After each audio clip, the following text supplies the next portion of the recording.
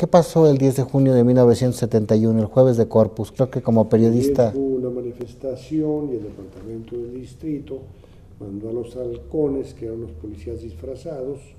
Hoy vi las noticias, nadie habló de esto. Parece mentira, ¿no? Les habían ordenado que fueran a preservar el cuidado de provocadores, los grupos estudiantes los vieron y se pelearon, hubo muertos.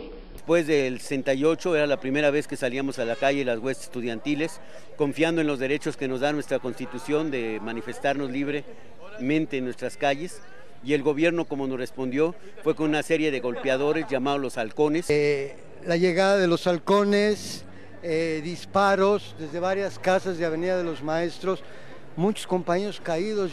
Si mal no recuerdo, había más de 100 gentes tiradas en el piso con sangre. ¿no?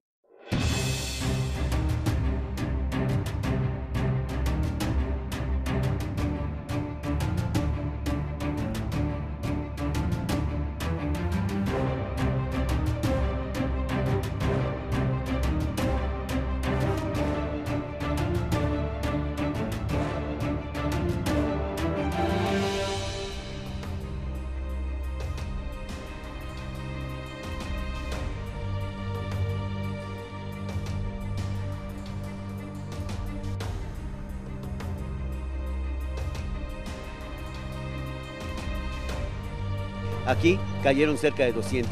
Claro, aunque hubiera sido un solo compañero, sería un crimen de Estado.